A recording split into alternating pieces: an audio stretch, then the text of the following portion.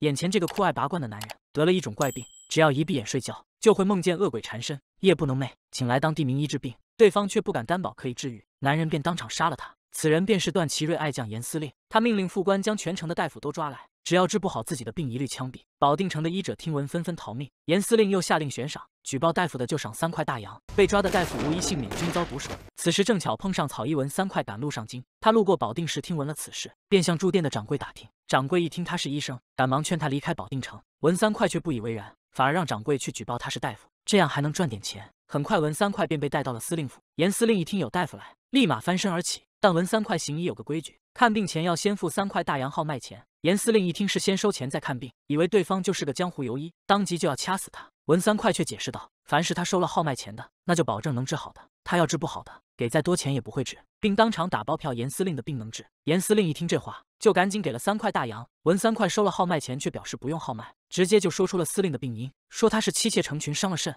脾气暴躁伤了肝，肝肾两虚，阳气虚弱。再加上嗜杀成性，才会导致噩梦缠身。这一顿分析，让严司令是佩服的五体投地，光用看的就句句都在点上。文三快让所有人都出去，房间里只留他和司令两个人，并且无论屋里有多大的动静，也不准有人进来。只见他将所有的蜡烛都吹灭，仅留下手上的一盏油灯，开始扮鬼，不断的吓唬严司令。又端来一盆凉水将其泼醒，随后又开始新一轮的恐吓，在一次次重复循环中，司令逐渐对文三快的惊吓习以为常，不再感到害怕，只剩下浑身的疲惫，爬上床倒头就睡。文三快就用这种以下止下的方式，成功医好了严司令的病。第二天一早，严司令就把文三快请到了司令府，见面之后二话没说，举起枪就对着文三快周围开了几枪，这可把文三快吓得够呛，责怪对方恩将仇报。严司令却大笑起来。声称只是为了报昨晚的惊吓之仇，他很是赏识文三块的医术，想要把他留在身边重用，还要赏他五千块大洋。但文三块不是见钱眼开的人，拒绝了严司令的好意。但碍于严司令一腔热情，便主动提出可以磕头拜把子。于是二人结为了异姓兄弟。听闻文三快想去北平行医，严司令给了他一封介绍信，让他去找自己的好兄弟于世勋。于世勋是北平的警察署长，此时正为了能升任局长到处奔走。这次他来到了自己干爹车大吹的住处，告诉了干爹自己要竞选局长一事。当选局长的决定权握在王副厅长的手上。此次前来是想管干爹要典礼，投其所好送给王副厅长。然而车大吹因为一些往事，至今仍对于世勋心存怨恨。自己的亲女儿菊花与于世勋一起长大，两人青梅竹马，情投意合。但于世勋为了坐上署长的位置，娶了唐署长的女儿。如今又说自己只要当上局长，就八抬大轿的迎娶菊花，到时候车大吹就成了局长的老丈人。这话成功说服了势利眼的车大吹，他觉得这是个不赔的买卖，便答应了他。这天，于世勋和妻儿在桥上散步，看到菊花正好从一旁经过，于世勋便丢下妻儿追了上去，结果却在菊花这碰了一鼻子灰。晚上回到家后，于世勋把气全撒在了自己妻子身上，对着她就是一顿毒打。第二天，文三快也抵达了北平，提着些见面礼，带着介绍信，找到了于世勋。于世勋一看是严司令介绍的人，自然不敢怠慢，赶忙安排手下去庆丰楼设宴，准备为文三快接风洗尘。趁于世勋回屋更衣的时候，文三快想要出门转转，正巧碰上了于世勋的妻子。此时的他昨晚刚遭受毒打，走路都得仆人搀扶。文三快想要上前看看情况，却被于世勋阻止，声称只是走路摔了，并无大碍。随后两人便来到庆丰楼，在酒宴上，文三快得知想要在北平行医，需要参加考试获取行医执照。而考试刚好归警察厅管，要想顺利拿到执照，就真得有于世勋的帮忙。文三快赶忙上前敬酒，仆人却在此时赶来，说夫人上吊自杀了。几人连忙赶回了家，经过文三快的诊脉，确认了夫人已经香消玉殒。夫人常年遭受于世勋家暴，早已不堪重负。文三快看着于世勋假惺惺的模样，心里对他的人品产生了一丝怀疑。等文三快走后，于世勋与部下商量，让他对外声称妻子是因为得了绝症，一时想不开才上吊自杀。第二天，他就为妻子大办丧礼。这边车大吹也得知了消息，便劝自己的女儿嫁给他。菊花自然不愿意，直接转头走人。车母也狠狠地训斥了他一顿。眼看自己局长老丈人的美梦破碎了，还白搭进去一块虎骨，给车大吹愁得彻夜难眠。第二天一大早，刚从茅厕出来，嘴里刚念叨完虎骨，就突然晕倒在了地上。经过几名大夫的诊治，都劝车母赶紧准备后事。于世勋听闻消息，赶忙找到文三快，希望他出手为车大吹看病。然而两人赶到的时候，车大吹已经入了殓。既然来都来了，文三快执意要开棺看尸，车母便打开棺盖，让他看了车大吹的尸体。文三快看过尸体后，当场打了包票，说自己可以救，但是要求先付三块大洋。菊花一听这话不乐意了，不看病先收钱，那肯定是骗子，当即合上棺盖，打算放弃治疗。文三快见状，赶忙让车母打开，不然闷一会儿就真没得救了。见车家母女不信任自己，文三快便当场说出了车大吹的具体症状，并说他的下半身还存有体温。说罢就要打开棺盖，一群人赶忙上前阻止，就要赶他走人时，车母却打开棺盖进行了确认，发现正如文三快所说，赶忙上前央求三块救人。于是勋也赶忙掏出三块大洋。文三块让人把车大吹抬进了屋里，对其进行了一顿行云流水的针灸。没一会，车大吹还真活过来了。车家母女当场跪谢救命之恩。没想到这一来二去，车菊花竟然和文三块对上眼了。再加上车家重金相谢，文三块坚决不收，这让车菊花更加欢喜。然而刚死了老婆的于世勋也打起了车菊花的主意，转脸就安排媒人去车家提亲。怎料菊花是说啥都不同意，还以上吊威胁。结果嫁人的事虽然暂时搁置了，但自己的胳膊却怎么也放不下来。车家请了好几位郎中都没治好，直到文三块出手才治好了怪症。在父亲的逼迫下，在于世勋的催促下，走投无路的车菊花只好应下婚事。可就在办喜事的前一天，车菊花居然悄悄出门，一个人去客栈找到文三块，让他娶了自己。文三块一听这话，自然是当场拒绝。可车菊花早有准备，见表白不成，便让文三块陪他喝酒谈心。等对方醉酒以后，再布置现场进行碰瓷。等文三块醒来，菊花便说他酒后乱性玷污了自己。文三块一时也懵了。菊花试探着又问文三块可否娶了她。文三块依然坚决不答应。菊花便气哼哼的离开了。可他前脚刚出门，于世勋就来了，说是邀请文三快去喝他的喜酒。而被拒绝的车菊花以为文三快胆小怕事，便打算认命，与于世勋拜堂成亲。于世勋和菊花成亲当天，文三快思来想去，还是跑去大闹了婚礼，阻止菊花嫁给于世勋。为什么？因为我已经是文三块的女人了。面对婚变，于世勋认为是车菊花不愿嫁给自己，所以才搞出这么一场闹剧，气得不行，抬手就给了文三块一拳。一众亲朋好友也立马帮忙，都要暴揍这个插足的第三者。结果一个不小心，把来给于世勋证婚的王副厅长推到了一旁的绿植上。老王只觉菊花一紧，一阵惨叫声，帮了文三块的大忙。于世勋和车菊花的婚事泡了汤。车父对文三块恨得牙痒痒，只有车母心疼闺女，愿意将女儿嫁给文三块为妻。可新房和彩礼是一样不能少，我不能让我的闺女去跟你过苦日子。这有什么？我全答应。车母一看这小子答应的挺爽快，也就没再为难。可谁曾想，文三块刚从车家出来，就被于世勋给劫了。把裤子给我扒了。拿起水果刀就要阉了文三块，不料文三块非但不害怕，还让对方给他个痛快。于世勋念在文三块是严司令兄弟的份上，便答应替他磨磨刀。然而文三快此举实乃缓兵之计，眼看刀已磨好，文三快立马开始鬼扯，一会爆料车菊花不嫁的原因，一会又剖析于家风水，说于世勋的新房阴气太重，不信你住三天，保证你得怪病。文三快说的跟真的一样，可于世勋又不是傻子，这种江湖骗话，他哪肯轻易相信？文三快当场立下赌约，如果于世勋在新房住三天却无事，可以立马将他活埋，他绝无怨言；反之就得放了他。焦二爷看热闹不嫌事大，一个劲撺掇于世勋应下赌约。于世勋果然答应了下来。文三块暂时保住了自己的命根子，被压在了大牢里。兔崽子，三天之后看我怎么收拾你！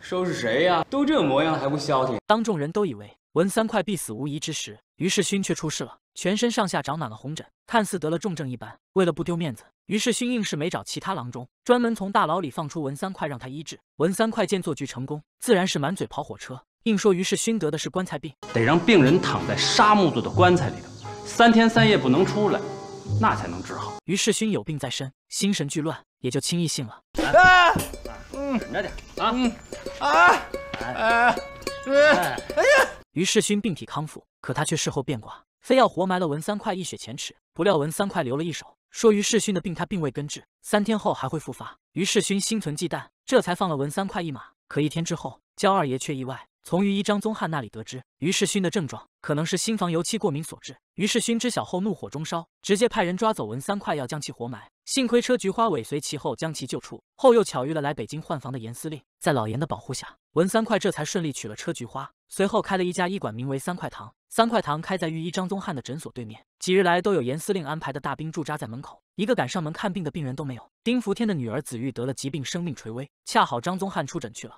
严司令做主让文三块帮子玉看病。文三块看过子玉的症状，知道治此病需要一种特殊的引子。出门寻找之时，正巧撞见焦二爷拿个大烟袋逛街，二话不说就给抢了回来，砸碎烟袋，取出烟油，端着一杯烟油水就往子玉嘴里灌，紧接着又往他额头拍了些凉水。片刻之后，女孩果真吐出许多恶水，人也瞬间精神了许多。丁福天一家让子玉向文三块道谢，子玉却笑而不语。文三块赶忙帮腔解围，怎料子玉忽然开口，语出惊人：“长大了，我给您当太太。”文三块当场尴尬，可大伙都以为是童言无忌，并未在意。就这么的，文三块骑术救下子玉的事情传遍了大街小巷，慕名来求医的病人络绎不绝。可文三块看病的规矩与人不同，来者都需交三块大洋的号脉钱，俗称挂号费。这天，一位大叔背着一个晕倒的男孩，着急忙慌地跑进屋内。文三块起身查看一番，看出男孩并非重症，只是中暑，要对方先交三块号脉钱。大叔救儿心切，当场就跟文三块保证，自己现在手头不宽裕，事后一定补上三块大洋。但文三块却坚决不给赊账，不愿坏了自己定下的规矩。文三块看病先收挂号费的行为，瞬间激起了众怒。来求医的病人纷纷离开，去了对面张宗汉的医馆，唯独留下了一个能掏钱的小伙。可文三块一号脉，让他也去对面看，称他的病不在自己的医治范围内。小伙气不打一处来。文三快却镇定自若，提笔写出非疑难杂症不医。这看病规矩，别说老百姓看不懂，就连他老婆车菊花也不理解。我要是什么病都看，就对门那御医，他还有饭吃吗？我这给他留饭吃呢。文三快的这些话，车菊花是压根不信。别说治病挣钱养家糊口，就他这么搞下去，两口子怕是都会被人咒骂。文三快倒是看得开，一咒十年旺，谁爱骂谁骂。可谁曾想，他的这些事被人编成了顺口溜，满大街传唱。这后边正是于世勋在搞鬼。和文三块一条街开诊所的御医张宗翰，自然也就成了比较对象。文三块一气之下，便跟这位悬壶济世的同行较上了劲，随即带上一个瓷瓶找上了门。瓷瓶里装的是一种毒药，他要两人一人喝一半，谁能调配出解药，谁就赢。可张宗翰又不傻，别人带着不明液体上门找茬，自己怎么能轻易上嘴？便一边叫住文三块，一边从自个家里头也拿出一瓶毒药，并称对方只要认识自己，就给这毒药喝下去。文三块二话不说，拿起药瓶往鼻子前一划，就说出毒药的名字叫鹤顶红，而且还向他解释。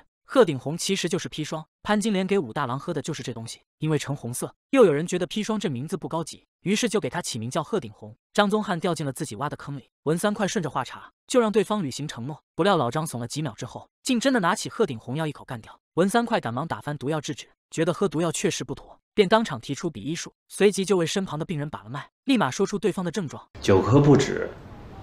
睡不好觉，这位病人连吃了张宗汉十几副中药，也没见好转。按照张宗汉的说法，他这是在守方。文三快却说，像他这种病，按照他的药方，只吃一剂就能药到病除，还保证如果只用一剂没能药到病除，他就亲自把三块糖的牌匾摘下来砸了。张宗汉一听这话，也当面打了包票，如果文三块药到病除，也就当众向对方赔罪。文三块回到医馆，立马给病人开了方子。可病人家属一看药方，就有些纳闷，药方上的药材十分廉价。文三块却说小药治大病，并让病人回家以后。把药放到新瓦上炒至通红，然后用淡菜汤加几滴麻油服用，保证一觉醒来病就能好。果然，第二天病人的病就好了。张宗翰得知后一脸惊奇，可事实摆在眼前，由不得他不信。文三快开心极了，还特意让病人把药方拿给对方。张宗翰打开一看，当时就傻了，竟是两味常见且价格低廉的药材。张宗翰呆愣在原地，一个劲儿的惊叹，还以为这方子是文三快的祖传秘方。文三快却说此偏方出自一本医书，据记载，宋徽宗的宠妃得了感冒，整日咳嗽发热，睡不着觉，就差隔离了。宋徽宗赶紧宣召太医李防御诊治，并限时三天治不好就要砍头。李防御号完脉后心灰意冷，正准备回家等死，结果恰巧在街上碰见有人卖咳嗽药，反正横竖都是一个死字。李防御就拿着这个草医的药进宫给宠妃吃了，没想到就这一剂药下去。宠妃的病竟然好了，而用的药就是这个偏方。文三块还跟大伙解释了，他收的三块挂号费同样可以药到病除，但是花的钱要比张宗汉这边的少得多。草医文三块大败于一，张宗汉立马传遍北平。自此以后，来三块堂看病的人多了不少。可文三块又立下一项新规矩，每天只看三十个病人，上午门诊，下午出诊，限号限时，绝不多看。要搁到现在，这妥妥就是一专家号。眼看文三快扬了名，挣了钱，不但于世勋动起了歪脑筋，就连他老丈人车大吹也打算用文三快的名号干一点私活。这天妓院来了个人，想要文三快出诊，文三快却说自己不治妇科病，随后扭头便走。不料对方追上来解释，病人不是妇科病。有了这话，文三快才勉为其难的走了一趟。可谁曾想，林春楼的头牌玉仙姑娘竟是文三块的熟人绿秀。绿秀无言面对，转身躲避。文三块却私下找到老鸨，要替绿秀赎身。一番讨价还价之后，老鸨以自己不能做主为由，要求两天后给他答复。可实际上，老鸨找到了林春楼的幕后老板焦二爷，汇报了文三块打算赎人的事。焦二爷问他向文三块要了多少钱，老鸨伸出一根手指，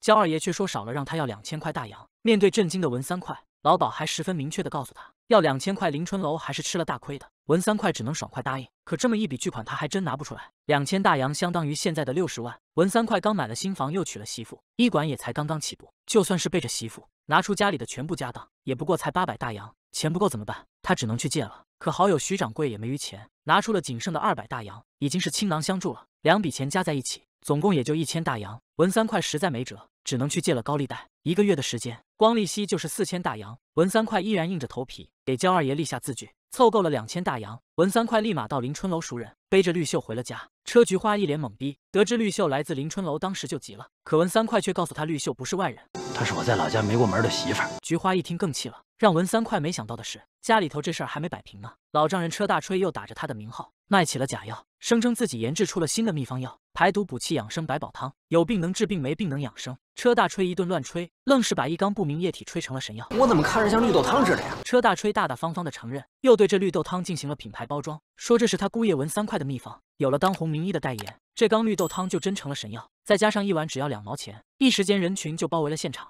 两缸绿豆汤很快脱销，一连好几天，车大吹感受到了流量的强大。虽然一碗汤只卖两毛，可架不住量大，短短几天时间，车大吹便挣下了一笔巨款。俗话说得好，人怕出名猪怕壮。车大吹卖百宝汤的事，很快便传到了文三块的死对头于世勋耳中。不料这天卖汤的时候，却被御医张宗汉现场打假。这绿豆确实有清热解毒、利尿去暑的功效，可是这绿豆属性寒凉，吃多了会伤及脾胃。张宗汉刚科普完，车大吹就开始狡辩，非说这是文三块的祖传秘方，保健品界的天花板。然而打脸来得太快，立马就有人指出，天天喝这汤，并没治好，反而更严重了。要不是大夫救得及时，连命都搭进去了。有了受害者现身说法，现场消费者的态度瞬间转变，骂的骂，砸的砸。见车大吹躲进了药店，于是有人提议去找绿豆汤的品牌方文三块。一帮人随即来到三块堂，任凭一家人如何解释，大伙就是不信。直到文三块发下毒誓，大伙才意识到这是车大吹甩锅的手段。随后丈母娘带着女婿赶到药铺，不但砸碎了车大吹的作案工具，澄清了此事与文三块无关，还当场给消费者保证，车家一定会赔偿大家的损失。车大吹创业失败。回到家便当着车菊花的面抖露了文三块借高利贷的事。车菊花急吼吼的回家，两人当场大吵了一架。于是勋见绿豆汤没有整倒文三块，便利用他不给局长夫人看病的事，又设了一个局。于是勋先是找来一名死囚，让他去找文三块看病，然后嫁祸对方致死了人，制造医闹，挑起社会舆论。等到东窗事发，再将此事嫁祸给局长，最后他再陪陪领导，让自己顶替局长位置，真可谓是一箭三雕。然而文三块有严司令保护，虽然挨了打，但却安然无恙。反倒是朱局长着了于世勋的道，被脾气火爆的严司令一枪打死。于世勋借机上位，顺利坐上了局长的位置。虽然医闹没了，可焦二爷掐着点来找文三块要钱，结果一不小心误喝了病人外敷的药水。二爷，这不是？哎，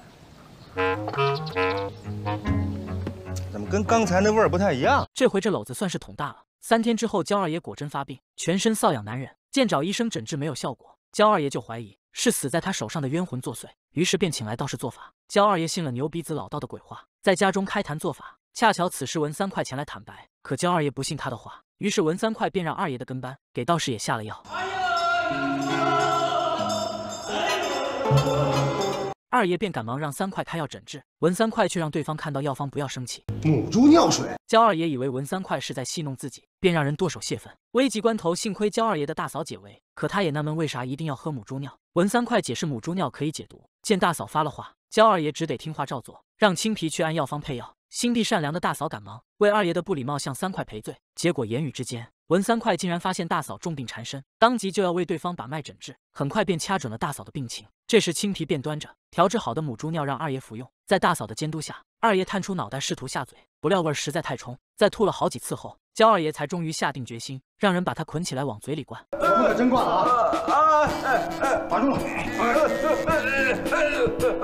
文三块这边也告诉大嫂，虽然他的病不轻，但只要吃上三个月自己调配的药。再好好调养一番就能根治。大嫂说，若能治好，文三块便是他的救命恩人，让二爷好好的照顾文三块。有了大嫂的叮嘱，文三块麻溜的给写了药方，还特意叮嘱一定要按方抓药，按量服用。可谁曾想，焦二爷扭头就把这话给忘了。几天之后，正巧大嫂过寿，焦二爷一高兴就把药给停了，还说回头再给药补上。谁知道这一停一补，大嫂就出事了。文三快赶来后一问才知道，中间不但停了一天，而且事后竟然还把两天的药量加在一起，一次性服下。文三快解释说，这药里的附子有毒。他是按照病人的病情按量下药，如果超量服用，病人就会中毒身亡。文三快把焦二爷一通数落，然后用针灸为大嫂解了毒。自此以后，焦二爷对文三块的态度发生了彻底转变。然而文三块的死对头于世勋却始终不肯放过他，找到二爷希望他照收保护费和高利贷，但二爷不乐意，于世勋只能以封了三块糖威胁。说完扭头就走人了。结果第二天，焦二爷却带着手下来到三块糖，不但送上神医人数的匾额，还当街放话：要是谁再找文先生的不痛快。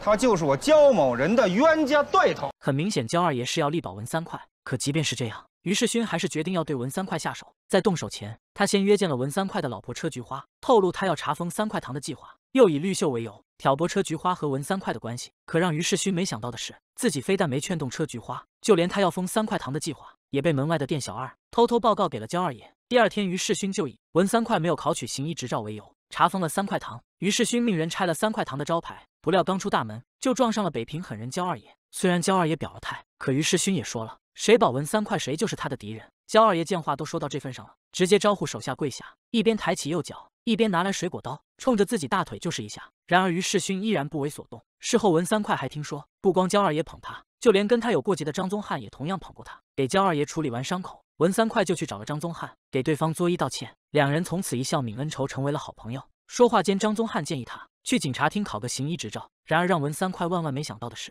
在他报考之前，于世勋就已经打了招呼，不让他参加考试。文三快没了辙，只好找到子玉的父亲丁福天，想托他在警察厅的关系来帮自己考取行医执照。正巧丁福天此时也有一件事要请文三快帮忙，他一个日本同学的妻妹从日本来中国旅游，结果病倒了，全北平的大医院都看遍了，就是不见好。丁福天就寻思西医治不好，那就请中医试试。可谁曾想医院的主治大夫根本看不起中医，一听对方看不起中医，文三快就不满意了，但又担心自己没有行医执照，要是出了事可咋整？丁福天却说出了事情自己扛。并且会帮他搞定执照的事。有了丁福天的承诺，文三快这才放心的答应随他走上一趟。见到病人后，三块便一眼看出对方的症状，他患的是对口疮，创口已经化脓溃烂，针挑和服药恐怕都很难解决，便让人赶紧去找蚂蟥，要用蚂蟥吸出窗口里的脓血。然而一旁的西医却一顿叭叭，要求立刻停止中医的医治。文三快听到后也是一顿疯狂输出，愣是把对方骂的是体无完肤。见俩人吵得不可开交，绿秀赶忙提醒救人要紧，西医却要求。救人必须得患者家属同意，小日本哪懂这些，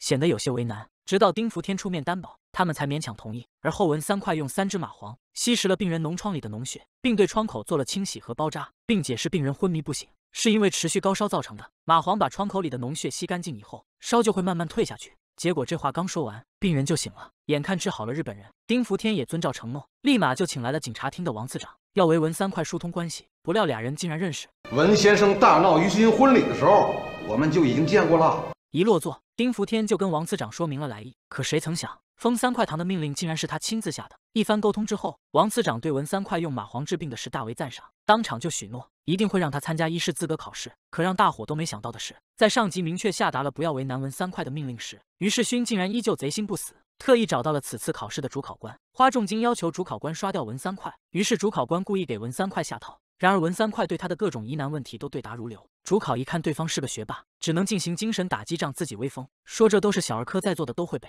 不料文三快气性大发，当即反问主考：如果一个穷人急火攻心、高热昏迷，要用什么偏方？主考官回答道：先进行隔离，然后用针刺人中涌泉等穴位，再以中药调理。文三快却说他有个偏方，不花分文就能治好。再用冰块放到病人的骨尖、腋下还有手足处，这样呢就可以退热。一旁的考官听完很是好奇，便问用这方子的人有没有不治而亡的。文三快回答确实有，但可能是因为水温过低。文三快话音刚落，主考官便立马上纲上线，说他不遵医道，善用偏方致人死亡。文三快反问考官，难道他就没治死过病人？主考官听后一顿发火。以文三快无视考场纪律、刁难考官为由，取消了他的考试资格。得亏王次长事后问了一下情况，打了通电话，这才把执照又发给了文三快。然而重新开张的三块堂却接到了一个连文三快都治不好的病人，一个孩子总是吵着肚子疼。文三快搭手号脉，仔细观察了小孩的病情，不料得出的结论却是这孩子没救了。文三快长叹一声。恰在此时，文三快看到街上有一和尚路过，赶忙上前招呼，让他念经超度一下那孩子。大和尚来到屋内，没有打算念经超度。幼儿抓起孩子的胳膊，好起了脉象。和尚说他前几年治好过这样的病人，可以试一试他手里的方子。几人一听这话，个个都面露喜色。一番医治下来，小孩的病情果然缓解。大和尚表示可以把药方留下，日后若再遇到此病，也就不至于无药可解。张宗翰十分开心，当即拜谢。可文三快却是一脸愁容。临走时，和尚对文三快进行了一番点化，指出了他功利心太重的毛病。文三块也从中顿悟。第二天，文三块不但免费救治了门口的一个乞丐，还倒给了对方三块大洋，并且当众宣布取消了三块大洋的挂号费，而且没钱也给看病。而之前生病痊愈的小男孩也在三块堂住了下来。车菊花见这孩子长得不赖又灵性，便想收他做干儿子。文三块当即给孩子起名文成元，孩子也改口叫了他们爸妈。可高兴了没两天的车菊花却突然疑惑：两人结婚这么久了，怎么到现在还没要上自己的孩子？他去找张宗汉看了看，张宗翰一打量，直接就说他没问题。反倒是文三快应该找他来瞧瞧，可他俩都清楚，文三快多要强的一个人，怎么能承认自己不行呢？于是二人里应外合，张宗翰谎称串门和文三快闲聊，无意间提及他最近脸色不好，文三快便让他给自己把把脉，最终得出一个结论，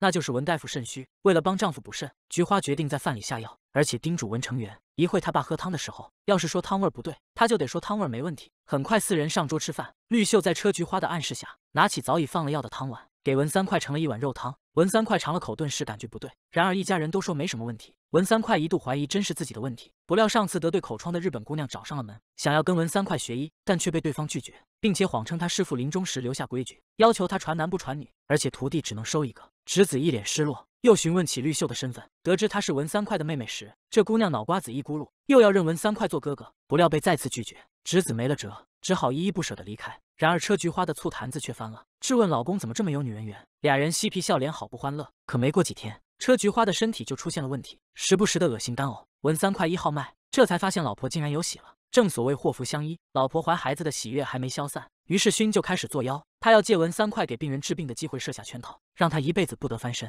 这天，丁福天的妻子病重，找来文三快治病。文三快让丁福天按他开的药方抓药，可谁曾想一旁的西医海东升不乐意了，当场跟文三快抢起了活。两人一番争吵过后，文三快拿命担保要救活丁夫人的命。于世勋得知这一消息，指使贾贵去毒死丁夫人，然后再嫁祸给文三快。贾贵和秃子绑架了丁家的丫鬟春梅，交给他一包毒药，逼他下在文三快给丁夫人的药里面。春梅由于过度紧张，弄洒了药碗，被文三快发现药里有砒霜。丁福天向于世勋报了案，让他调查春梅下毒的原因。于世勋交代贾贵给春梅一笔钱，送他离开北平。贾贵却阳奉阴违，将春梅的全家灭口，还拿走了给对方的安家费。秃子由于害怕将春梅被杀一事向于世勋言明。于世勋得知贾贵跟自己撒谎，内心对他有所防范，而以命相保治好了丁夫人的文三块。因为舍己救人登上了报纸头条，一时间誉满北平。一晃六年时光，丁福天的女儿子玉留学归来，出落成亭亭玉立的大美人。面对王次长侄子海东升的追求，子玉明确表示她已经有男朋友了。可丁福天纳闷了，女儿出国六年，回国后也没见有什么亲近的朋友，他的这个心上人究竟是谁呢？然而子玉却说自己要嫁给文三快，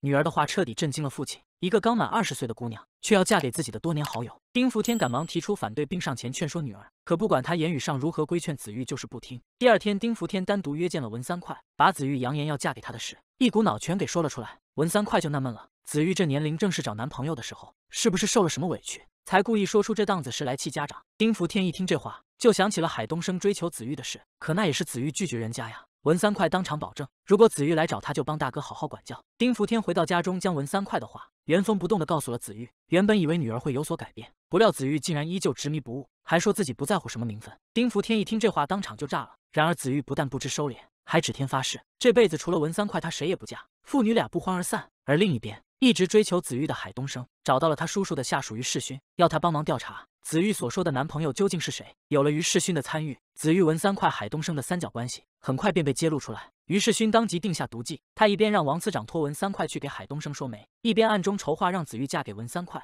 这样一来，不但王次长和文三块结了梁子，说不定他还能渔翁得利，取下车菊花。结果不出于世勋所料，文三块说媒失败，子玉为逼迫文三块就范，竟以死相逼，同时服下了几种毒药，半个时辰内没有解药，必死无疑。文三快得知后，赶忙来到丁家，然而就连他这样的神医也无法破解。子玉表示自己手中有解药，只要文三快答应娶自己，就马上吃解药解毒。见女儿性命垂危，丁福天只好妥协，让文三快先答应他。文三快被逼无奈，只好应允。子玉及时喝下解药，命算是保住了。可文三快答应娶子玉这事，却被于世勋给知道了。他一边将消息透露给车家，一边向王次长添油加醋说尽文三块的坏话。于是文三块很快便遭到内外危机，内有老婆车菊花成天吵架，外有北平街巷流言四起。恰在此时，于世勋一通电话激怒了海东升，气得小伙直接拿着手枪就要去找文三块拼命。幸亏子玉及时赶到。海东升见心上人极力保护情敌，直接气血上头，对着自己胸口就是一枪，最终经过抢救保住了命。于世勋借刀杀人之后，又抓住机会，一边将此事登报，一边找车菊花挑拨离间。很快，文三块与车菊花之间的隔阂越来越大。菊花说，文三块要是敢娶子玉，自己就嫁给于世勋，直接把文三块激怒，竟真的跑去丁家提亲。丁家夫妇一听这个，当场石化。于世勋奸计得逞，当真大操大办娶了车菊花。完事以后，又假模假样的来一出欲擒故纵，一下子就抓住了车菊花悲伤的内心。我上别的屋睡去，你刚离了，肯定心情不好。别走了。菊花答应会跟他好好过日子，于世勋多年的夙愿终于如愿以偿。与此同时，三块堂里。新婚的文三块心神不定，子玉和文三块诸多生活习惯产生冲突。文三块想到菊花，若有所思。文三块叮嘱子玉，外国人的东西不见得就一定好，没必要样样都按着外国人那样来。子玉满口答应，然而转天就给忘了。准备了一桌西式早餐，而吃惯了豆汁油条的文三块对洋式早餐很不适应。吃完早饭，子玉又提出要开一家医院，而这一想法正好跟文三块不谋而合。只是大家都没有开大医院的经验，于是子玉便主动请缨到国外考察。相比文家的朴实无华，老于家就显得高贵了许多。于世勋不但给家里配了六个下人，还不让车菊花操持家务，俨然一副宠妻狂魔形象。不得不说，于世勋虽然阴险狡诈，可对待车菊花那绝对是真心一片。文于两家就此度过了一段平静的时光。文三快每天行医送药，声名盛极一时，于是便有人专程请他上门看病。三快发现这孩子的病，在中医里叫邪生之疾，西医里则叫先天性心脏病。病因找到了，可文三快却说这病他治不了。孩子他爸一脸悲伤，说未生儿子娶了十二个老婆，好不容易生下一个，却得了这个怪病。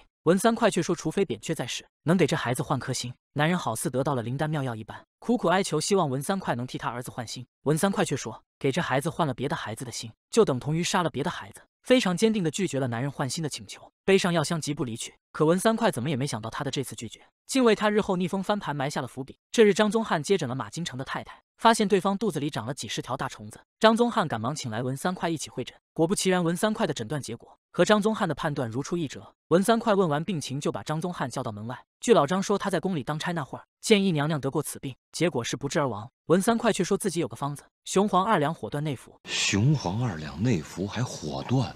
这火断之后，药性就等于砒霜啊！文三快莞尔一笑，并保证只要病人按照他说的方法服药，保准没事。两大夫会诊完毕，进屋就写下药方，还特地叮嘱要让病人先饿上三天，然后再将药一次服下。这时忽然得知家里病人出了状况，文三快便决定赶回去。临走前又特意嘱咐了一遍吃药方法，不料病人家属自作聪明，愣是将药量分成了三份，第一次只吃了三分之一，等见到了疗效。又才将另外三分之二一次性服下，然而病人刚喝下去就七窍流血而亡。正巧一个警察路过，听闻了此事，便带着病人家属将死者抬到了三块堂，找文三块要赔偿。文三块当场质问病人家属，要拿回家以后是怎么吃的？家属如实回答。听得文三块那叫一个气，他事先特意叮嘱，此药必须按他说的方法一次性服下，是病人家属擅自分次服药，导致病人中毒身亡，而且还有张宗汉一旁作证。一时间对的病人家属是哑口无言。警察见没抓住把柄，便灰溜溜的走了。可等他们回到警局，狡诈的于世勋却从这件事中看到了扳倒文三快的机会。他先是安排死者家属上告法院，而后再歪曲事实向上级汇报，将此案定性成医疗事故。于是文三快很快便被禁止行医，还抄没了所有家产。遭遇如此打击，文三快却没有放弃。在安顿好家人后，他独自一人带着行李，打算另谋生路，白手起家。焦二爷得知此事，心中暗暗担心，便派手下四处寻找文三快的下落。于世勋则指使手下打晕了文三快，抢走了文三快最后的家当。文三快醒后，只能和一群叫花子寄宿在破店之中。破店的掌柜看文三快身无分文，并没有收取文三快住店的费用。文三快很是感动，看到掌柜的有歪嘴的毛病，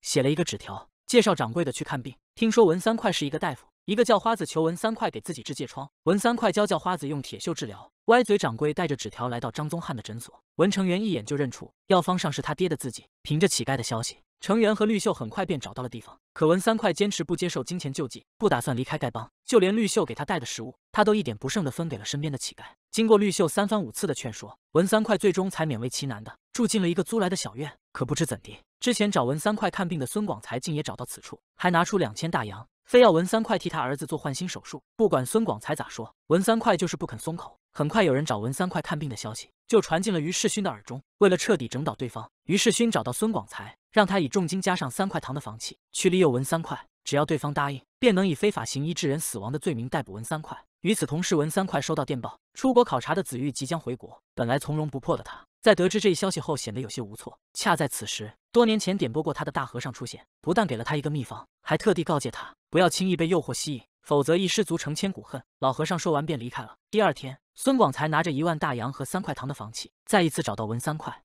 央求他救救自己的儿子。为了妻儿和一家人的生活，文三快最终答应了手术，但他一再强调，手术不一定会成功，孩子也不一定能救活，并让他为自己准备一套卖肉的用的工具。当于世勋看到文三快给孙广才立下的字据时，别提多高兴了。另一边，成员劝父亲不要做手术，但文三快就是不听，非要拿着杀猪刀给两个一岁的孩子做换心手术。随后便开始了手术。等俩钟头时间一到，警察便冲进了手术室，要抓文三块一个现行。然而闯进来却发现根本就没孩子。文三块会心一笑，这才招呼成员抱出孩子。孙广才一看俩孩子都活着，当场就有些懵逼。原来自打一开始。文三快就没打算做换心手术。文成元早就看见孙广才被于世勋派人带走，于是文三快将计就计，引蛇出洞。贾贵只得带人悻悻离开。等警察都走后，文三快对孙广才说自己手里确实有秘方可以救他儿子，而交换条件就是三块糖的房契。孙广才一听这话，才老实交代，他之前拿来的三块糖房契是于世勋借给他的。可文三块才不管那些，想要得到秘方，必须用三块糖换。孙广才没了办法。只好硬着头皮去找了于世勋，对方一听来由，直接要价一巴掌五千块。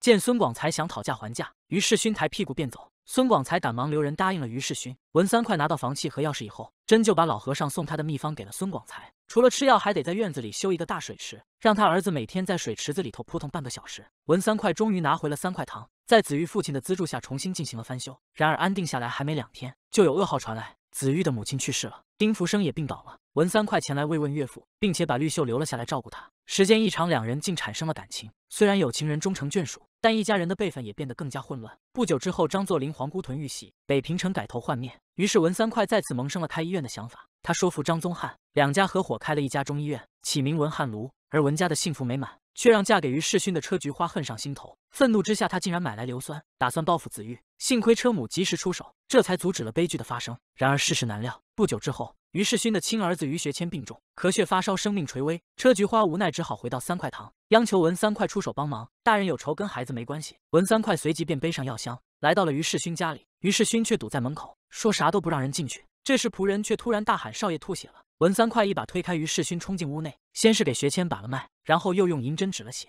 扎针只是救急，还得吃药，当即开出药方，让他先吃一个疗程，并叮嘱菊花孩子咳血止住以后，再找自己来给他复诊。然而真到了咳血止住的时候，于世勋却请了别人，车菊花就纳闷了。两人争执了一番，不料文三快却自个儿来了。先来的老郎中一看这架势，就打算先撤。然而于世勋却不让老郎中走，就是不让文三快看自己的儿子，而文三快也非要留下来看一眼新开的药方。看了老郎中的药方后，文三快给他提了几个建议，不料老郎中死鸭子嘴硬，硬说自己开的都是治咳嗽的神药。文三快却说学谦这个病情，如果吃了老郎中开的药会很危险。即便如此，于世勋还是不相信文三快，非要吃老郎中的药方。就这么的，于学谦一连吃了老郎中好几副药，开始还好好的，几天之后病情突然加重，咳血不止。于世勋意识到了问题，这才让车菊花去请了文三快。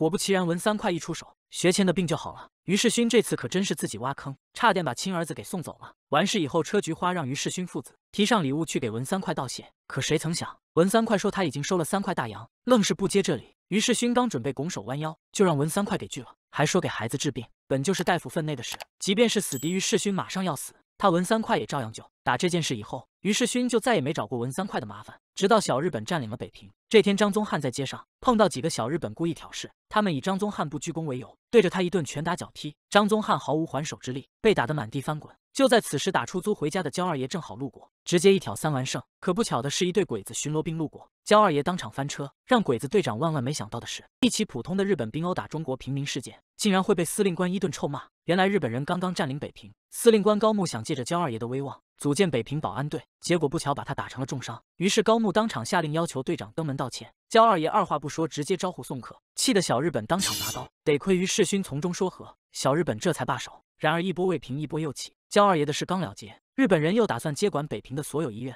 文汉卢不但未能幸免，还被改为新民医院。高木听说文三快是个名医，便想拉拢他，让其出任新民医院院长。结果俩人刚见面，文三快就看出高木有病。文三快先是把脉看相，紧接着又看了看舌苔，随即便问他病是怎么得的。高木却装傻问是什么病。文三快见状便说不想治就拉倒。高木看了一眼自己的裤裆，直接惊了，当场就请求文三快帮他治疗，说兄弟是在喜峰口的战役当中被中国军队的子弹打伤，从此就不行了。文三快一听这，当场便表示无解。按他的说法，如果是身体原因，他大概可以治好。但高木这是外伤所致。高木一听自己没了，就直接当场翻脸，非逼着文三快出任新民医院的院长，但也给了几天时间让他回家考虑。就在文三快考虑的这段时间，曾经的拜把子大哥严司令因为兵败负伤逃至北平，来三块堂避难。可没过几天，这消息竟然被焦二爷得知，双方一合计就打算干一票大的，灭了北平城里的鬼子军官。出发前，文三快还特地送了他大哥一些膏药。可谁曾想，严司令行动失败，日本人拿着药膏顺藤摸瓜找到了文三快。高木因为爱惜他的才华，并没有把他处死，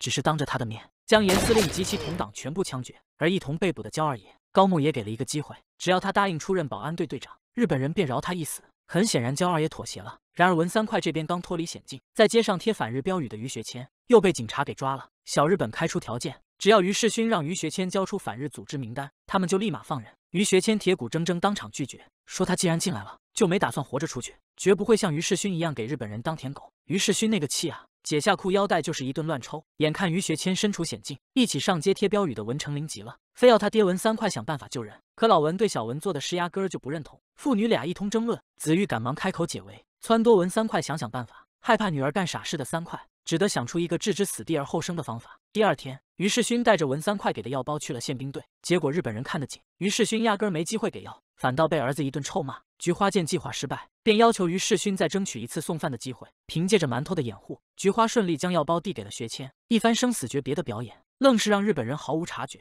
于学谦当晚就吞下了药包。第二天，于世勋掐点赶到大牢，劝说儿子说出名单。学谦依旧宁死不屈，于世勋便上前给了几巴掌。几巴掌下去，学谦直接倒下，没了气息。鬼子队长见人没了气儿，便收刀走人。不料生性多疑的高木，竟带着军医要再来检查一遍。军医一番检查之后，也宣布学谦已经死了。没想到丧尽天良的高木，还要让于世勋把自己儿子的尸体捐给军医学校当教学器材。于世勋听后伤心的直流哈喇子，央求高木给儿子留个全尸。关键时刻，高木终于松口，于世勋这才把儿子毫发无伤的运出宪兵队，一直到城外的森林。文三快给他服下了解药，学谦这才苏醒过来。然而老于家的问题解决了，鬼子却又盯上了文三快。这天，鬼子登门拜访，要求把家里的表从北京时间调成东京时间。一听这要求，文三快立马不乐意了，对着贾贵无言以对，只得拿下文三快家的钟表摔碎，随后便甩手走人了。但文家人都知道，小日本肯定不会善罢甘休，于是文三快当着全家人的面立下遗言：咱文家人谁都不许当汉奸，谁要是当了汉奸，就不是文家人。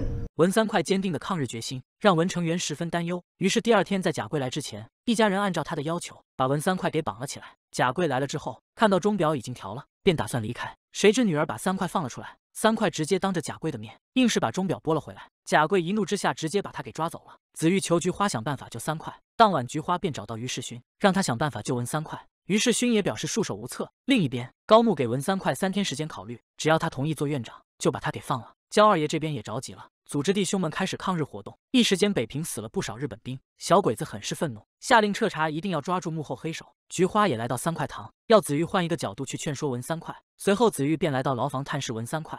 自从日本人入驻北平各大医院，老百姓即便是得了病都不去治病，跟他说就当是拯救老百姓的性命。三块思索再三，终于答应了，但他要求必须开一个就职庆典。很快来到就职庆典当天，文三块按照北京时间来到了现场，向大家解释了自己当院长的原因，还表示穷人看病不仅不收诊金，还送药费。在场的老百姓无不拍手称快。庆典结束以后，大家齐聚在三块堂。文三块从看病先收三块大洋，到现在免费看病还送药，有了很大的转变。大家都好奇当时为什么要立看病先收钱的规矩。文三块这才讲述了其中的规矩。当年他的父亲悬壶济世，常常给别人看病不收钱，然而等自己得病的时候，却因为少了三块钱要钱，最终病死了。因此文三块才立下规矩，看病前先收三块大洋。直到后来遇见大家，被大家所感动，才慢慢更改了规矩。另一边，焦二爷的反日活动愈演愈烈，日本人的警惕也越来越高。高木怀疑到了焦二爷头上，便让于世勋暗中监视二爷。再上一个，加油吧，这他妈是的！于世勋找到二爷，劝告他不要跟日本人对着干，但同时也表露真心，说自己绝不会出卖二爷。焦二爷听到这番话，顿感欣慰。不久之后，北平爆发了瘟疫，日本人却下令，瘟疫病人不需要医治，集中拉到城外活埋，甚至带兵在中医院里抓病人，老百姓们都不敢出门就医。文三快见状，便将自家后院腾了出来，偷偷救治病人。绿秀和丁福天此时也回到了北平，但丁福天与日本人交往密切，这让绿秀十分担心。就在这时，徐掌柜也被当作瘟疫病人抓去城外活埋。文三快知道后伤心不已，他不能再眼看着北平的老百姓被小日本祸害，随即便找到高木，说他有办法遏制瘟疫。不料高木根本不信，坚持采用活埋的办法阻断瘟疫蔓延。文三快一气之下，竟然将对方大骂一顿。高木对文三快的行为颇为恼怒，但碍于院长身份不能动他，于是贾贵就建议可以从张宗翰下手，再扶植一个院长，这样文三块就没那么重要了。可谁曾想，御医张宗翰竟也是铁板一块，不管小日本咋说，他就是不答应。就连以子女性命相要挟，张宗翰也不松口。然而世人就有软肋，张宗翰也不例外。高木听闻张宗翰在朝时就十分听皇帝的话，便借溥仪之手，迫使他出任院长之职。张宗翰经过一夜的思考，第二天一早便去见了高木，要求上任前放他两天假期，并且还要将此事登报广而告之。高木毫无防备，满口答应。结果张宗翰一回到家，就换上大清官袍，在给儿女写下遗书后，便跪在皇帝的画像前服毒自尽了。文三快得知了消息，伤心不已。如今北平城瘟疫严重，每天被小鬼子活埋的百姓也不计其数。为了遏制小鬼子暴虐的行径，子玉想到了一个绝妙的方法，那就是让日本人也染上瘟疫。得到了子玉的启发，文三快很快就有了计划。他一边安排家人们撤离，一边让女儿程琳去找在日本军营做饭的中国厨师，让对方将自己备好的毒药下在日本兵的饭菜里。这样一来，就可以造成大量日本兵感染瘟疫的假象。等高木反应过来时，做饭的厨子早就没了踪迹。由于毒性是特制的，日本医生按照常规治疗方法进行治疗，根本不见成效。为了减少死亡，高木只好请来文三快诊治。文三快以此为条件，要求高木同意医治得了瘟疫的中国老百姓。高木听到对方威胁自己，便反过来用对方的家人威胁他。没想到文三快却说自己早就给家人送走了，想杀也杀不到。高木这下没辙了，只能先把文三快关进大牢，另想其他办法。而一向奸诈的贾贵，意外得知于世勋的老丈人车大吹有治疗痢疾的秘方，便撺掇小日本用此方医治。狡猾的高木小脑瓜一转，当即就有了一个歹毒的计划。他一面让日本兵用车大吹的秘方，一面答应文三块的条件。可等文三块回到家，放出他藏匿的瘟疫病人时，贾贵却带着日本兵突然杀到，将所有病人都抓了起来。高木奸计得逞，正搁文三块面前嘚瑟呢，不料却传来消息，说吃了车大吹秘方的士兵又死了不少。高木大发雷霆，当即命人抓捕车大吹。车大吹直说自己是贪图金钱，一时间鬼迷心窍，才谎称自己有秘方的。高木当即命人严刑拷问，然而就是打死了车大吹，他也交代不出什么信息。就在这时，缺心眼的贾贵又给高木献上一计。高木从贾贵口中得知了文三快与车大吹的关系，便又命人请来车母，以两人性命相要挟，逼迫文三快就范。果不出所料，文三快最终妥协。然而车大吹虽被救下，但当他出现兵队时就已经重伤，回到家中便撒手人寰了。另一边，贾贵也带着日本人包围了焦二爷一群人。二爷丝毫不慌，当即吩咐手下抄枪迎战。可贾贵为啥突然对焦二爷动手呢？原来二爷本想买通理发师托尼王暗杀贾贵，不料王麻子手抖暴露，连带着焦二爷的大徒弟青皮一起阵亡。于是这才有了眼下小日本兵围天河居，贾贵正搁这喊话呢。于世勋闻讯赶来，得知二爷已经暴露，于是心慌的一批，正准备再抢救一下，不料被高木一把推开。日本兵破门而入，和二爷手下发生激战。一番互射之后，二爷手下死伤过半。最后时刻，双方进行了惨烈的白刃战。二爷手持双枪守在二楼吸引敌，一番风骚走位，愣是伤敌十余人，而自己毫发无损。眼看兄弟们死伤殆尽，二爷当即大喝一声，提起长柄大刀从二楼一跃而下。二爷勇猛异常，一番挥砍。杀敌足有七八，但最终还是因为寡不敌众，身受重伤。焦二爷牺牲之后，高木带人检查现场，在二楼发现了一只鸟笼。贾贵见高木来了兴致，当场就要教鹦鹉说话，不料鹦鹉十分硬气，竟出口国粹大骂日本人。高木一怒之下，直接将鸟笼摔了下去。贾贵帮小日本灭了焦二爷，高木对他赞赏有加。结果这回一转脸，就把于世勋也给卖了。可高木并没有对于世勋动手。而另一边，为了营造日中亲善的假象，高木三番五次的邀请丁福天出任华北常务委员，但次次都被拒绝。最终，高木以女儿女婿相要挟，这才迫使丁福天勉强答应。然而，丁福天这些年与日本人的合作早已被反日组织调查得清清楚楚。当年日军进攻北平，丁福天就以所谓的保护百姓免遭战火为由，泄露了中国军队的部署计划。而正是因为此事，导致阻击日军的第二十九军上千名官兵以及自发组织的几百名学生兵全军覆没。反日组织为了暗杀丁福天，将于世勋的儿子于学谦派回北平，然后利用文三快女儿文成林，将他外公丁福天诱出当街击杀。虽然于学谦行动时做了伪装，但依旧被一旁的车菊花认出。自打此事以后，于学谦他爹于世勋更加谨慎，甚至不惜放弃尊严，只为求个家人平安。这天吉野过生日，于世勋前来送蛋糕，小日本一顿狂笑，搞得于世勋一脸懵逼。好半天之后，吉野才告诉他，日本人过生日不讲祝福，只唱歌，当场要求于世勋献歌一曲。老于没辙，只好硬着头皮唱了一首中文版的生日快乐。不料小日本不但没有感谢，反而把他当作笑料。将蛋糕扣在了他的脸上，那一刻，于世勋感受到了前所未有的屈辱。回到家中，他便告诉车菊花，自从丁福天出事那天到现在，日本人已经抓了十多个人严刑拷问，是要抓到杀人凶手。车菊花决定偷偷把儿子送出北平，然而怎么找也找不到于学谦，便一路尾随文成林，跟到了他们碰面的地方。而恰在此时，已经暴露的组织联络员。又将日本特务引到此处，恰好被一旁暗中观察的车菊花瞧见。眼看自己孩子即将遭遇围捕，救人心切的车菊花顾不得个人安危，直接叫门报信。不等几人出逃，日本兵就已经赶到。店小二在堵截过程中中弹身亡，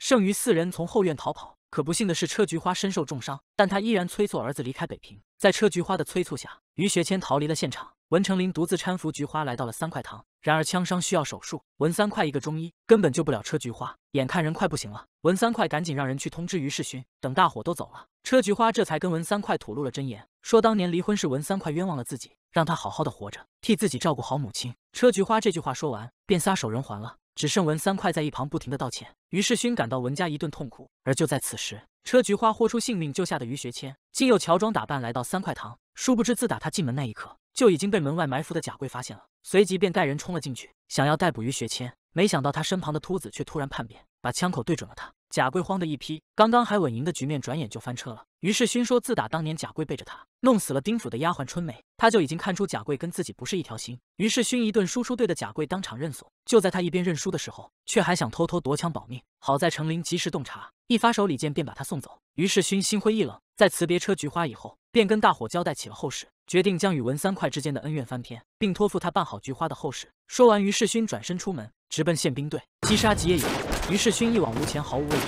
虽然打死多名日本兵，可他自己也身中数弹倒地身亡。一日之内接连失去两位至亲的车母，此时已是泣不成声。他当着女儿女婿的墓发誓，一定会拿小鬼子的人头来祭奠死去的亲人。而另一边，曾被文三快预测三个月之内必有大病的高木，此时已经重病不起。医疗顾问海东升告诉高木，以他现在的情况，保守治疗恐怕是不行了，而手术治疗风险极大，成功概率很低。因此，海东升建议让高木请文三快医治。让人惊叹的是，文三快一不用把脉二，不用问诊，竟能把高木的病情病状说得丝毫不差，并当场拒绝医治高木。说话间还掏出一瓶毒药，一边说要与高木同归于尽，一边将药送入口中。好在侄子忽然出现，阻止了他。侄子不仅劝住了俩人。而且还让他哥高木放走了对方。文三快本以为此事会就此了结，不料车母竟接连暗杀数十名鬼子，自己也中弹受伤。由于中医不善手术，又不能明目张胆的入院治疗，因此大伙只能眼睁睁的看着老太太等待死亡。恰在此时，高木病情恶化，侄子上门求救，于是俩人达成条件：侄子救治车母，文三快救治高木。只见文三快让人对着赤裸的高木泼下一盆凉水，随即看准时机挥针便刺，直击高木左肺。片刻之后。一股红褐色的脓血缓缓流出，文三块交代等血排干净以后，再吃一段时间的消炎药就可以治愈。侄子十分好奇为什么要先用冷水浇头，文三快解释道：针刺的部位离他的心脏很近，稍有偏差就会要他的命。用冷水浇头主要是让他打冷战，人在打冷战的时候心脏会往上提，这时候再用针安全性就大了很多。经过文三快的医治，高木没几天就可以下地了。为了报恩，高木不仅登门致谢，还将祖传玉佩赠与文三快。见对方不收，高木便说这是信物，将来可以要求他办一件事。有了这层含义，文三快才勉强接受。然而让大伙都没想到的是，高木身边的海东升竟然是一名地下党。原来多年以前，海东升追求子玉失败后，负气前往了日本。九一八事变爆发以后，因为国仇家恨，海东升又带着妻子回国，在北平开了一间诊所。机缘巧合间加入了地下党，被派往高木身边卧底。日军在经历多次泄密后，这才怀疑到海东升的身上。在卧底期间，海东升多次为抗日武装提供重要情报。如今海东升身份暴露，被高木关进了大牢。文三快听闻此事，便要求高木兑现承诺。然而高木明着答应文三快放人，背地里却秘密处决了海东升。为此，侄子和高木闹翻，决定离开中国返回日本。文三快得知此事后，也气急败坏，想要找高木理论一番，却被子玉和程琳劝阻。文成林暗下决心，一定要让高木血债血偿。听闻高木要去送侄子上火车，便提前躲在了隐蔽处。等到高木出现以后，伺机一枪击杀了高木，随后便平安撤离。而文三快也在抗日战争结束以后，带着子玉离开北平。抗战胜利以后，街上传来鞭炮锣鼓声，文三快和子玉率领着家人一一祭奠死去的亲友，伤心落泪。而经过一生血与火的洗礼，文三快也从一介草医变为了一名苍生大医。至此，怪医文三快的故事就结束了。我们下期再见。